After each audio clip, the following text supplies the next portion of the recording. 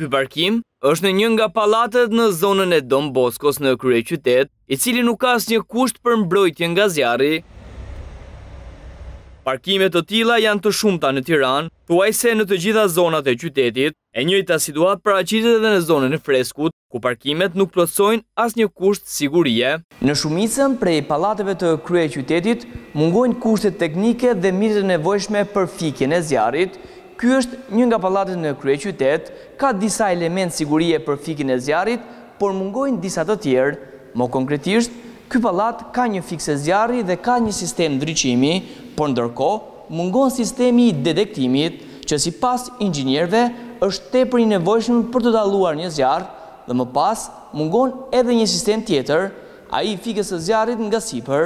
Elementi i parë që duhet të vendosen në pallate, por që neglizhohet nga investitorët janë detektorët që sinjalizojnë zjarrin apo përmbytjet. Investimi i parë është detektimi, pra t'i vë një spiun në atë ambient, i cili të lajmëron nëse po të vjen një rrezik apo jo.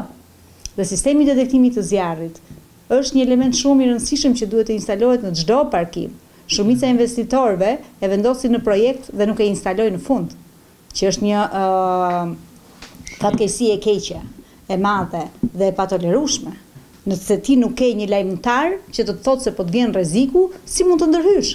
Jep alarm në momentin që bie zjarri, njofton grupin e zjarrfikësve, sepse ka një numër telefoni të instaluar në central i cili në mënyrë automatike çon mesazh dhe thotë që në filan parkim në filan adresë po bie zjarri. Por cilat janë disa nga pajisjet që duhet t'i ketë çdo parkim nëntokësor për mbrojtje nga zjarri? Në sistemet shuarëse fikse janë shprinklerat, janë disa pajisje që vendosen në në tavan, të cilat në rast zjarri ato shpërthejnë në mënyrë automatike ose nën veprimin e temperaturës ose nën veprimin dhe komandën e e e centraleve të mbrojtjes së zjarrit, centraleve elektrike të mbrojtjes së zjarrit, sistemet lëvizëse janë hidrantët. Është e detyrueshme të përdoren fikset fikse të cilat janë të destinuara për të fikur zjarret e shkaktuara nga karburantet. Krahas mungesës së sistemeve të sinjalizimit, në një pjesë të parkimeve nëntokësore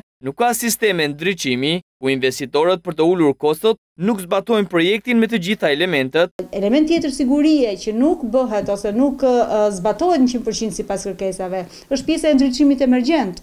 Pra, ti ndodhesh në një ambjent të mbyllur, siç është një parkim, i cili në raste të zjarrit, gjëja e parë ose veprimi i parë që ndodh kur ndodh një fatkeqësi e tillë, është shkëputja e energjisë elektrike.